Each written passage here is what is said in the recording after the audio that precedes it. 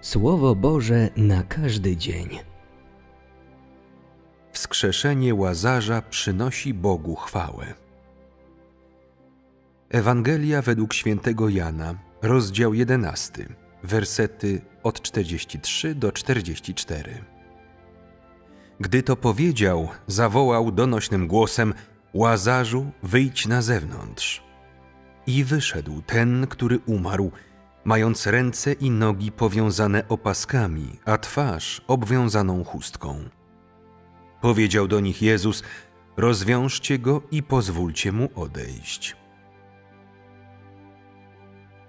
Jakie macie wrażenia po przeczytaniu tego fragmentu? Ten cud Pana Jezusa miał dużo większe znaczenie niż poprzedni, gdyż nie ma bardziej zdumiewającego cudu niż wskrzeszenie człowieka z martwych. Taki czyn Pana Jezusa był w owym wieku niezwykle znaczący. Ponieważ Bóg stał się ciałem, ludzie mogli ujrzeć jedynie Jego wygląd fizyczny, Jego praktyczną oraz nieistotną stronę. Choć niektórzy częściowo dostrzegali i rozumieli Jego charakter, czy też pewne zalety, które wydawał się posiadać, nikt nie wiedział, skąd wziął się Pan Jezus, jaka była Jego prawdziwa istota – i do czego był jeszcze zdolny. Wszystko to było ludzkości nieznane. Zbyt wielu ludzi chciało na to dowodów, chciało poznać prawdę. Czy Bóg mógł uczynić coś, co udowodniłoby jego tożsamość? Dla Boga to pestka, bułka z masłem. W każdej chwili i w każdym miejscu Bóg mógł zrobić coś, co dałoby dowód jego tożsamości oraz istocie – Postępował on jednak według planu i działał etapami. Nie robił rzeczy przypadkowo. Czekał na właściwy moment i na odpowiednią okazję, żeby dokonać czegoś niezwykle znaczącego, co ludzkość mogłaby zobaczyć. Świadczyło to o jego władzy i tożsamości. Czy zatem wskrzeszenie łazarza mogło być dowodem na tożsamość Pana Jezusa? Przyjrzyjmy się następującemu fragmentowi pisma. Gdy to powiedział, zawołał donośnym głosem: Łazarzu, wyjdź na zewnątrz. I wyszedł ten, który umarł. Kiedy Pan Jezus to uczynił, powiedział tylko jedno: Łazarzu, wyjdź na zewnątrz. Wtedy łazarz wyszedł z grobu. Stało się to za sprawą jednego zdania wypowiedzianego przez Pana. W tym czasie Pan Jezus nie postawił ołtarza ani nie wykonywał żadnych innych czynności. Powiedział tylko jedno zdanie. Nazwalibyśmy to cudem, czy raczej rozkazem? A może były to swego rodzaju czary? Na pierwszy rzut oka wydaje się, że można by to nazwać cudem, i patrząc z punktu widzenia dzisiejszych czasów, moglibyście to oczywiście określić mianem cudu. Natomiast z całą pewnością nie można by tego nazwać zaklęciem przywołującym duszę z martwych, a w żadnym razie czarami. Słuszne będzie stwierdzenie, że cud ten był najnormalniejszym, drobnym zaledwie pokazem władzy Stwórcy. Oto autorytet i możliwości Boga. Bóg ma autorytet uśmiercić człowieka – sprawić, by dusza opuściła jego ciało i powróciła do Hadesu lub gdziekolwiek, gdzie powinna się ona udać. Bóg decyduje o tym, kiedy ktoś umrze oraz dokąd pójdzie po śmierci. Może tego dokonać zawsze i wszędzie. Nie ograniczają go ludzie, zdarzenia, przedmioty, przestrzeń czy miejsce. Jeśli zechce, może to zrobić – bo wszystkie rzeczy oraz żywe istoty znajdują się pod Jego panowaniem, a także wszystkie rzeczy żyją oraz umierają za pośrednictwem Jego słowa, Jego autorytetu. Potrafi On wskrzesić umarłego. To również coś, co może zrobić w każdej chwili i gdziekolwiek zechce. Taką władzę posiadać może jedynie Stwórca.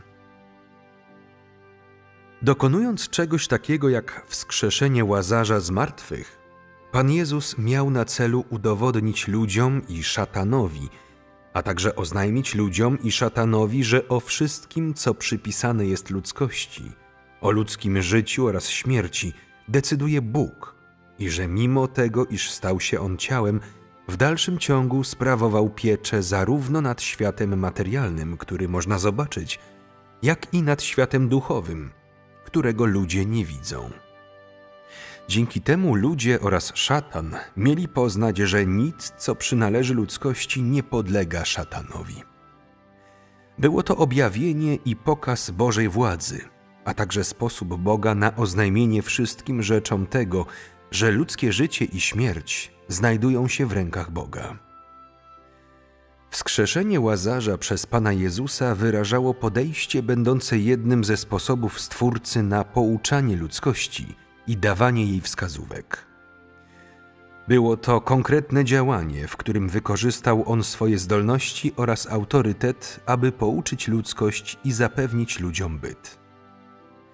Tym sposobem, bez użycia słów, Stwórca pozwolił ludzkości ujrzeć prawdę o swoim zwierzchnictwie nad wszystkimi rzeczami. Był to jego sposób na oznajmienie ludzkości poprzez praktyczne działania, że nie ma zbawienia jak tylko przez niego. Tego rodzaju niewerbalny sposób pouczania ludzkości pozostawia trwały ślad. Jest niezmywalny i wstrząsnął ludzkimi sercami oraz oświecił je w sposób, który nigdy nie wyblaknie. Wskrzeszenie łazarza przyniosło Bogu chwałę. Ma to istotny wpływ na każdego z naśladowców Boga. Ugruntowuje w każdej osobie, która właściwie pojęła to zdarzenie, zrozumienie, wizję, że tylko Bóg może rozporządzać ludzkimi życiem i śmiercią.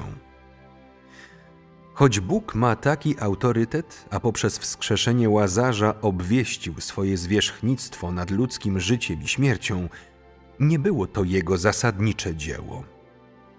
Bóg nigdy nie czyni nic, co jest bez znaczenia. Każda rzecz, którą dokonuje, ma ogromną wartość. To wszystko czysty skarb. W żadnym razie nie uczyniłby faktu wyjścia jakiejś osoby z grobu centralnym albo jedynym celem lub elementem swojego dzieła. Bóg nie robi nic, co pozbawione jest znaczenia. Jedno wskrzeszenie łazarza wystarczy, by zademonstrować Boży autorytet. Wystarczy, by dowieść tożsamości Pana Jezusa. Dlatego właśnie Pan Jezus nie powtórzył podobnego cudu. Bóg postępuje według swoich własnych zasad. W ludzkim języku powiedzielibyśmy, że Bóg podchodzi do swojego dzieła poważnie. Innymi słowy, kiedy Bóg czegoś dokonuje, nie zbacza z celu swojego dzieła. Wie, jakie dzieło chce wypełnić na tym etapie, co chce osiągnąć i będzie działać stricte według swojego planu. Gdyby zepsuty człowiek posiadał tego rodzaju umiejętność, myślałby wyłącznie o sposobach na to, jak objawić swoją umiejętność, aby inni poznali, jaki jest wspaniały, by się mu kłaniali, aby mógł ich kontrolować i ich zniszczyć. To zło pochodzące od szatana zwie się je skażeniem. Bóg nie ma takiego usposobienia ani takiej istoty. Celem jego działań nie jest popisywanie się, lecz dostarczenie ludzkości kolejnych objawień i przewodnictwa. Dlatego ludzie mogą zobaczyć w Biblii bardzo niewiele przykładów tego rodzaju działań. To nie znaczy, że zdolności Pana Jezusa były ograniczone lub też, że nie mógł danej rzeczy dokonać. Bóg zwyczajnie nie chciał tego robić, ponieważ wskrzeszenie łazarza przez Pana Jezusa miało bardzo praktyczny wymiar, a także dlatego, że nadrzędnym dziełem Boga, który stał się ciałem, nie było czynienie cudów ani wskrzeszanie ludzi z martwych, lecz dzieło odkupienia ludzkości. Zatem dzieło zrealizowane przez Pana Jezusa w dużej mierze obejmowało nauczanie ludzi, zapewnianie im bytu i wspomaganie ich, a rzeczy takie jak wskrzeszenie łazarza stanowiły tylko niewielką część służby, którą wypełniał Pan Jezus. Nawet więcej, moglibyście powiedzieć, że popisywanie się nie przystaje do Bożej istoty. Tak więc fakt, że Jezus nie czynił kolejnych cudów, nie był powodowany celową powściągliwością ani nie wynikał też z ograniczeń środowiskowych, a już na pewno nie wiązał się z brakiem zdolności. Kiedy Pan Jezus wskrzesił łazarza z martwych, wypowiedział jedno zdanie: Łazarzu, wyjdź na zewnątrz. Nie powiedział nic poza tym. Co oznaczają te słowa? Stanowią o tym, że Bóg za pośrednictwem ustnych wypowiedzi jest w stanie osiągnąć wszystko, włącznie ze wskrzeszeniem martwego człowieka.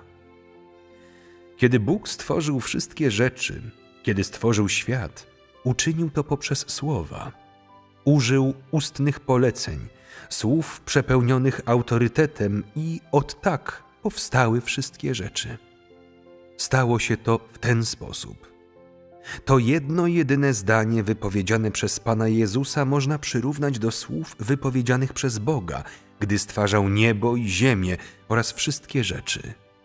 Niosło ono w sobie taki sam autorytet Boga, takie same zdolności Stwórcy. Wszystkie rzeczy zostały ukształtowane i trwają dzięki słowom, które wyszły z Bożych ust.